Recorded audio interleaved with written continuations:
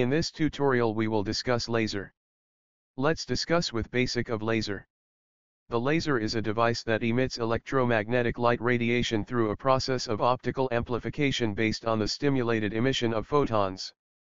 The term laser originated as an acronym for light amplification by stimulated emission of radiation.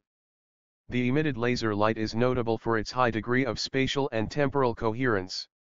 Laser lights are different than ordinary lights by as follows.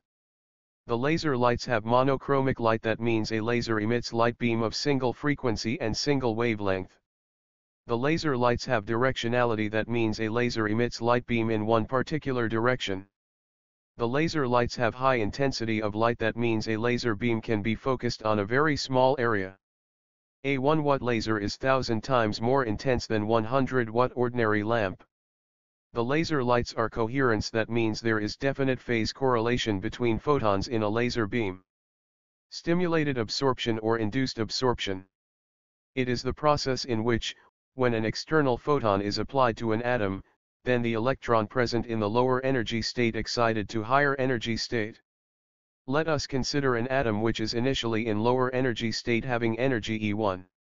If a photon of energy h nu is incident on an atom in lower state, then the atom absorb this incident amount of energy and jump to upper state having energy E2 such that H nu is equal E2 minus E1. This process is known as stimulated absorption or induced absorption.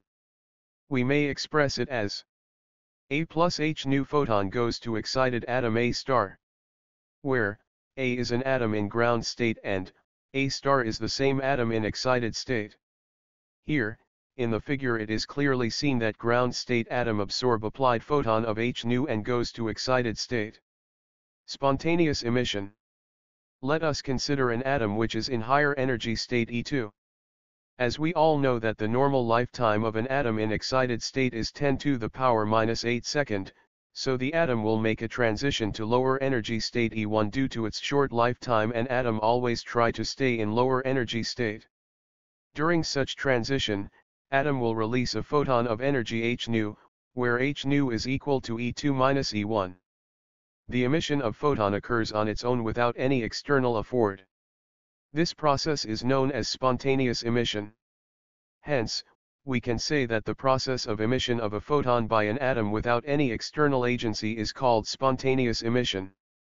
Here, excited state atom, A star goes to ground state atom A releasing H nu photon. In the figure it is clearly seen that the excited state atom goes to ground state atom without any external photon releasing photon of H nu. Stimulated emission. An atom in excited state E2 can also make the transition to lower energy state E1 by applying photon of sufficient energy H nu. During such transition, emission of second photon takes place having same frequency, same direction, same phase as that of incident photon. Such process is known as stimulated emission. This process may be expressed as A star plus H nu is equal to A plus 2 H nu photons. Here is two photons because, one is incident photon which is applied to let down the excited atom and next is emitted photon. In this process an excited state atom jumps from higher energy state to lower energy state. During such transition it emits a radiation that is called lasers light which are coherence, monochromic, unidirectional and have high intensity. There are so many atoms in excited state and they produce individual laser light and such individual laser light have definite phase correlation, due to which it produce amplified light. This much for today, thanks for watching, bye bye, see you.